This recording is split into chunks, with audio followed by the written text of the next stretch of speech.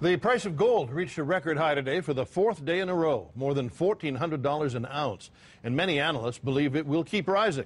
Gold is considered a safe asset during uncertain economic times. So, is it the time for you to invest or cash in? Mike Killeen reports.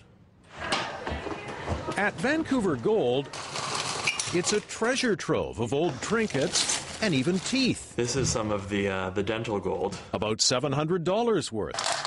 But today's prices bracelets, rings. Just some of the hundreds of items people are selling as gold hits an all time high. The average person ends up bringing in kind of a handful of stuff, and it adds up I think our average client these days is about $800 worth is what they leave with. Even with an ounce of gold now fetching about $1,400, the Better Business Bureau recommends sellers don't rush to get rid of what they've got. Go to a couple of appraisers, ones that you trust, you know, check them out at the at the Better Business Bureau and see what what the uh, the history is on the companies.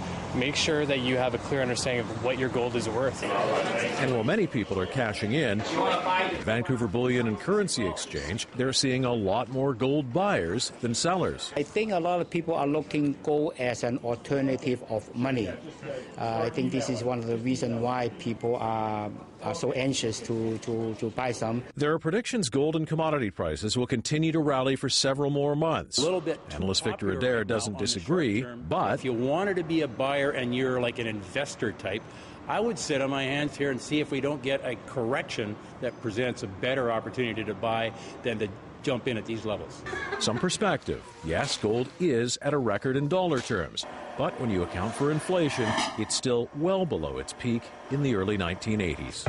Mike Killeen, CTV News, Vancouver.